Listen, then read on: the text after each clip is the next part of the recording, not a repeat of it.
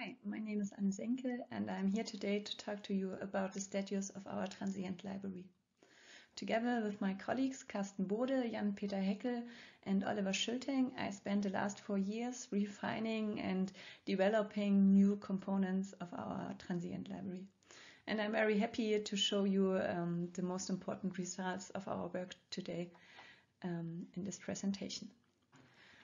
So let's start um, with a small motivation. As you can see here, there are um, different sectors as power, gas and heat coupled within an integrated energy system by, for example, power to gas plants, gas turbines or um, simple gas boilers. And what we see here when we are looking at current and future energy systems is that they become more and more complex by certain mega trends that are um, the same all over the world. For example, urbanization, um, decarbonization, but also digitalization. So when we as um, system analyzers want to keep up with this challenge, we need to develop models that um, are not only adjustable um, and reusable for different scenarios um, and for different research interests, but also stay comprehensible um, even with a um, growing complexity um, within their modeling approaches. And this is why my predecessors started to develop the TransiEnt library um, to allow a dynamic modeling and simulating of those integrated energy systems. And they laid a special focus on power, heat and gas sector that we um, also used and also are looking on. So this TransiEnt EE project that started in 2013, um, developing the TransiEnt library, um, laid their analyzed focus on the CO2 emission of integrated energy systems. And as a regional scope, they chose the city of Hamburg. So when we started in 2017, um, we used another um, important criteria for integrated energy systems, which is the resilience. Therefore, our um, project name is also ResiliEnt, ResiliEnt EE. And um, a very important thing was also that we wanted to broaden the regional scope and therefore um, we're looking at the energy system of northern Germany. So um, by broadening the scope, um, we also needed to uh, develop more um, energy uh, system models and also uh, redefine the existing models. And especially for the power and gas sector, this was actually quite some work. So, and this is what I want to show you now. Let's start with the power sector. Uh, here we used um, in the TransiEnt EE um, uh, project, um, we used actually the approach of a um, simple copper plate because the electric grid of Hamburg is quite small and therefore we um, could assume that the transmission losses um, could be neglected here.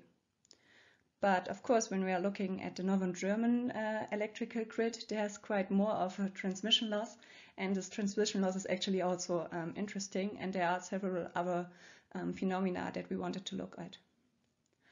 So therefore, we use the the root mean square approach, which is actually pretty common in the electrical um, engineering um, sector. And um, may, maybe some of you also know it already from the load flow calculations. Um, and this approach is basically also taking account those alternating currents and voltages. And for us to implement this in the TransiEnt library, we needed a new electrical interface. This one we called the complex power port. And um, additional to the values we already had um, implemented in our electrical interfaces, which are the active and reactive power and the voltage magnitude and the frequency, we needed to also add the voltage angle. And this was actually quite some work. We um, had to use the equality constraint, which is also um, specified in the Modelica specification. And I encourage you to look at uh, the paper of my colleague Jan-Peter Heckel that he actually already turned in also in uh, for the Modelica conference in 2019 um, uh, for more detailed information about the implementation um, in Modelica. So with this complex power port, we were able to show these ph phenomena I just talked to you about.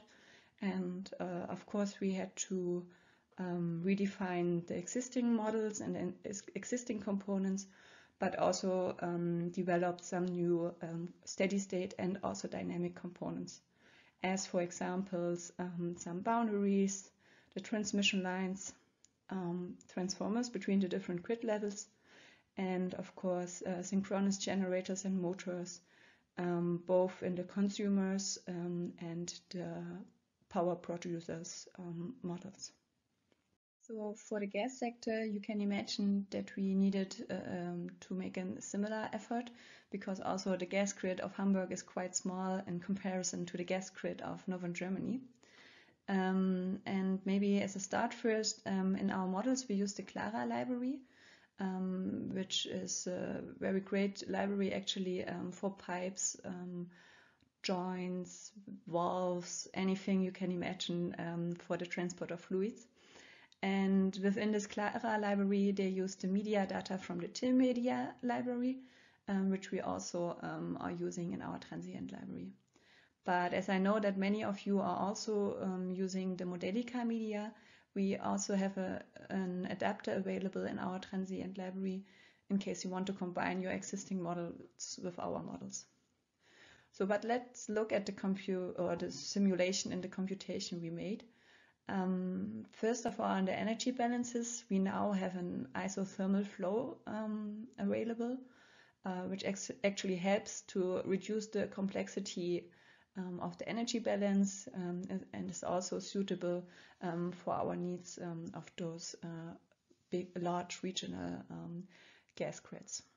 We also simplified the component mass balance, um, especially when hydrogen is mixed uh, to the gas in the grid. And um, we added a physical pressure loss computation, um, which actually enormously uh, reduced the complexity of the computation and is now actually helping us to be even able to um, yeah, model and simulate those large um, gas grids. Um, these simplifications are available in all of our gas grid components, for examples in those pipes, those joints, the boundaries, um, but also the valves and compressors. And we also adjusted um, and redefined our electrolyzer model, where you can now um, choose between different pressure loss um, calculations, between different energy balances and heat transfer um, approaches. And also new in our library is a biogas plant. You can see this here. Um, actually, this was also presented already in 2019. So if you are interested in more details there, you can also look at the publication um, my colleague Carsten Bode made there.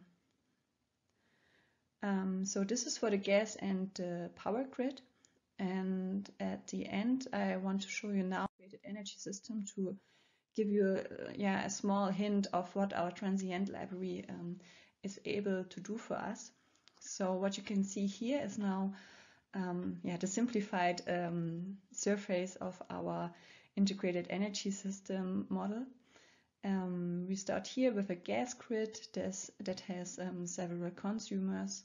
Um, here in the east, some gas boilers that are supplying heat to some yeah, um, housing areas. And here in the south, a CCP, CCP plant that, that is also providing heat um, via a district heating network to housing areas, but also power um, to an electric grid.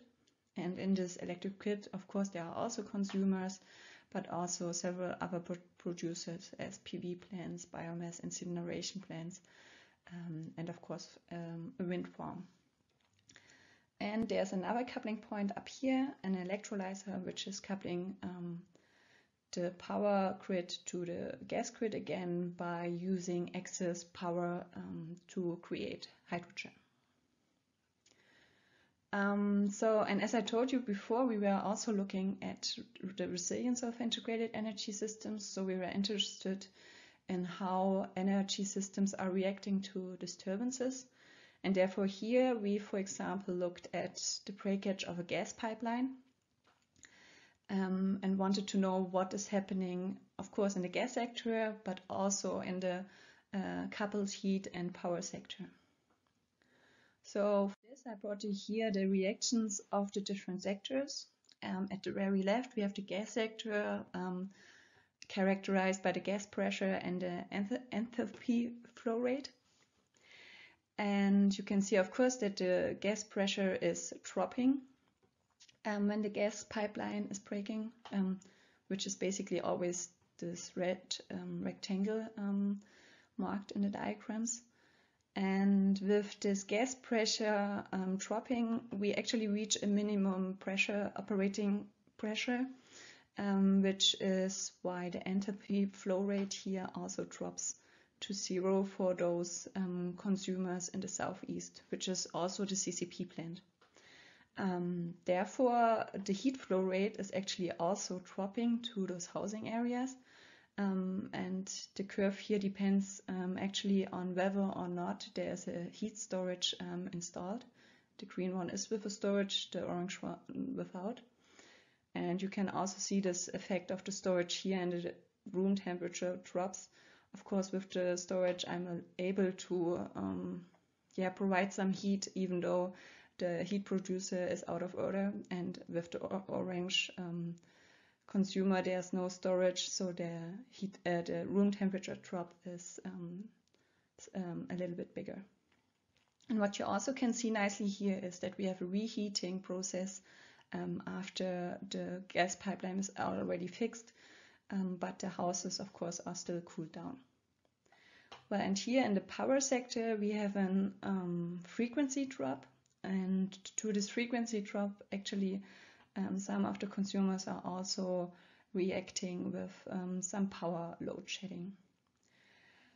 Um, and therefore, you can see that we actually are able to nicely look at all those three sectors and to evaluate the system answers um, within each sectors, um, which is helping us in our further, further analysis of the resilience of those integrated energy systems. So I hope um, this presentation wasn't too packed with new things for you, but I hope that you can could see that we are now able to model and simulate even large integrated energy systems, um, and we're actually also able to improve our modeling in the gas and power sector very much. And um, well, for the resilience and stability phenom phenomena, I just go, gave you a small hint here but I encourage you also to look at our publications on this um, um, uh, topic because uh, we also um, had some interesting research results on this. So actually to also take some time for our outlook because right now there are many ex um, exciting things happening um, right around the TransiEnt library.